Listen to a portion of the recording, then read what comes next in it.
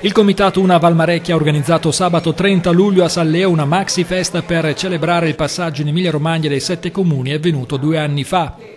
La serata è stata aperta da un convegno legato all'Unità d'Italia e ai progetti per lo sviluppo turistico e urbanistico dell'intera vallata. Noi crediamo di aver ricevuto davvero un grande dono inaspettato che è quello dell'ingresso dei sette comuni anche se storicamente sono sempre stati con noi perché credo che sia l'unico modo che noi avremo per eh, avere un futuro, un futuro radioso e il futuro che ci compete come provincia di Rimini. La sfida che abbiamo da raggiungere è quella davvero di vederci proiettati nel futuro come protagonisti e soprattutto vedere questo territorio leader, leader del turismo, della, della cultura, della storia, quello che si merita di essere e quindi anche dei giovani che si pensano, si programmano e pensano al loro futuro all'interno di questo territorio. Questo è il nostro sogno e quello per cui stiamo lavorando lavorando, credo che se insieme a tutti gli amministratori riusciremo a, ad avere lo stesso sogno ci toglieremo anche delle grandi soddisfazioni.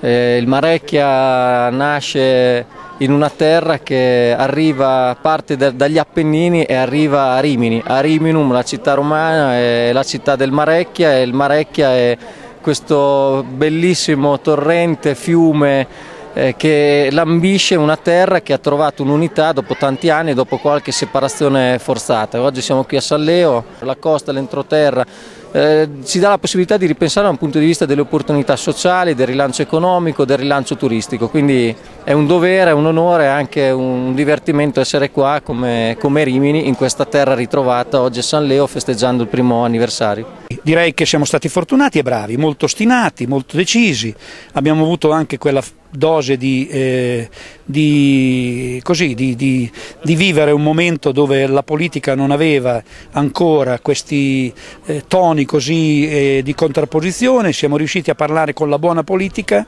e questo è stato importante. Poi fra di noi siamo stati bravi a mantenere la concentrazione, la trasversalità politica e principalmente l'amicizia tra noi. Presenti alla festa due rappresentanti del comune di Montecopiolo che attende ancora il passaggio di regione insieme a Sassofeltrio. Siamo ancora fermi al palo, attendiamo ancora che le regioni si esprimano.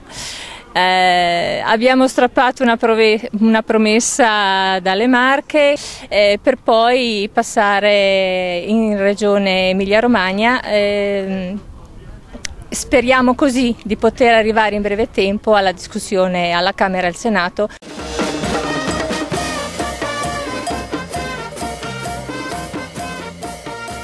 In chiusura le note della banda dei minatori di Perticara e i fuochi d'artificio.